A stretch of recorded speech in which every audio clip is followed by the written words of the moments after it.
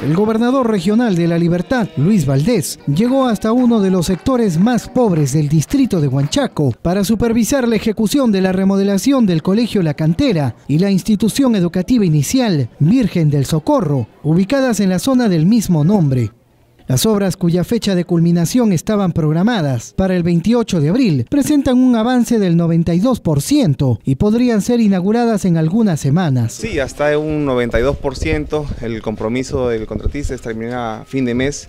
Eso va a significar una reducción del plazo contractual de 60 días, importante, y siempre procurando, digamos, esto, el beneficio, el bienestar del educando de este plantel. En el Colegio La Cantera, que atiende a más de mil alumnos, se ha reconstruido la totalidad de la infraestructura, al igual que en el Jardín Virgen del Socorro. Bastante moderna, el equipamiento también que se viene es, es un equipamiento moderno. Este colegio no solamente va a contar con, con aulas donde puedan recibir los, los chicos su, su, conocimiento, sino también con laboratorios, con sala de usos múltiples, con, cocina, para darle todas las condiciones adecuadas que ellos puedan esto, recibir un buen conocimiento, que tengan un buen proceso de enseñanza-aprendizaje. En primer lugar, cumplir creo con un compromiso que tiene el Ministerio de Educación de coberturar en la educación a todos los, lugares, sobre todo como este de bajos recursos económicos, con muchos problemas sociales.